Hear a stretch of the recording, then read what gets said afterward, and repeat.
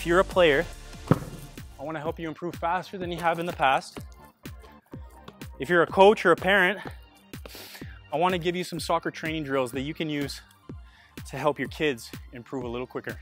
Rather than just doing random stuff, I wanna give you some stuff that I was taught at a young age that really helped me develop my technical skill faster than most players. Your goal is to get 25 touches on each body part. So what do I mean by that? 20, 25 left foot, or your weaker foot. But if you've been following me, you know I do not like the phrase weak foot. You have two strong feet. Then 25 right thigh, 25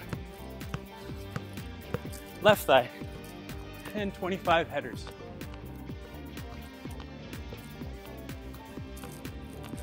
Okay, that's where I want you to start. If you're a kid, that should be your first juggling goals. Just left, right, good rhythm, alternating feet. Can you get to 500? 100 first milestone, first major milestone, whatever your record is right now, just try to beat it. Get to 100, be excited about that. 500, then 25, 25, 25. But when we were kids, we used to have to set records every training practice. So if right now I wrote down on my sheet, my right foot was 16, the next time I came back to practice, it better be at least 17 or the coach was gonna say, you haven't been practicing. So use those numbers as targets to challenge yourself. So if you're struggling and the ball's just dying, flex up that foot, tighten up your technique, hit it a little harder into your face. I'd rather you do that. I would rather you hit the ball into your face than hit it down on the ground and it dies. Okay, so it's better to hit it too hard in the beginning and you might smack yourself in the face, that's fine than too weak. Okay, the other thing is the speed of my feet. I'm not flat-footed. I'm not like this. Okay, I'm sharp on my toes. Every touch, I'm putting it down, I'm back up, I'm reacting. If the ball goes, I go with it. You can also add 25 of these mini touches with balance. Here, focus on the touch, but also the balance in the supporting leg. Spread the toes, make a nice flat surface, a strong, a strong base, strong foundation, and these are just little touches off my toe and I'm kind of just lifting the knee. I'm not even, I'm not even moving the ankle, I'm just lifting the knee. On the thighs, it's about making contact in the middle. If this contact is off to the side, that's gonna be tough for me to get there. And then it's also the quickness, the sharpness of this. But all I'm talking about here is analyzing your touches. If every time you screw up and it goes that way, don't let yourself do that again. If anything, go the exact opposite way and then you'll find somewhere in the middle. Footwork, this stuff, but I want you moving. Once you get the foundation, I want you moving forward and backwards. Okay, touches like that, touches like this. Keep the ball moving, especially as your legs get heavy. Good, inside, outside. and always both feet. You don't know how many 30 year old men I play with that only have one foot. Don't be one of those.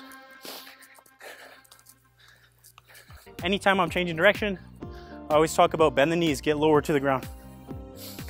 Okay, but you can do different footwork drills like that.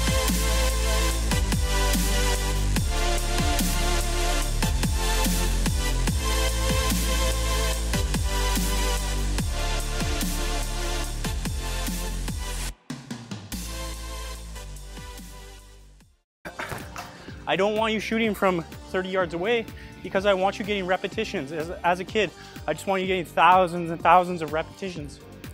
So if you can start from a young age,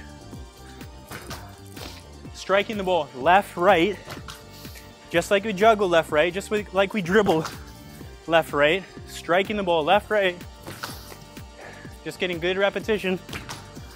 Start that at a young age.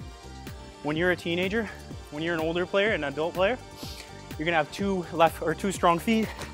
You're gonna be able to go both ways. You're gonna be difficult to defend. You're gonna score more goals because you can shoot with both feet. It's gonna serve you in the long run. So before we leave, let's just talk about the shooting technique. Flex foot, strong contact. You always hear this, you always talk about it.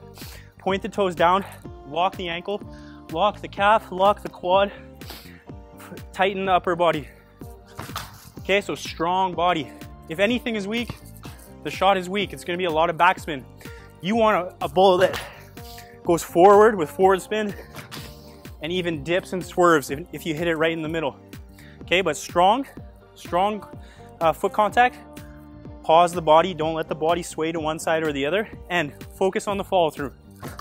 Nice flowing swing, nice flowing backswing, flowing front swing. And hit the middle of the ball. I can feel, I can see where it goes if I'm not focused and I'm not hitting the center of the ball. I can feel the difference. You need to learn to feel the difference between a good shot and a bad shot. Big flowing follow through, fall through towards the target. Don't fall through across the body, fall through towards the goal.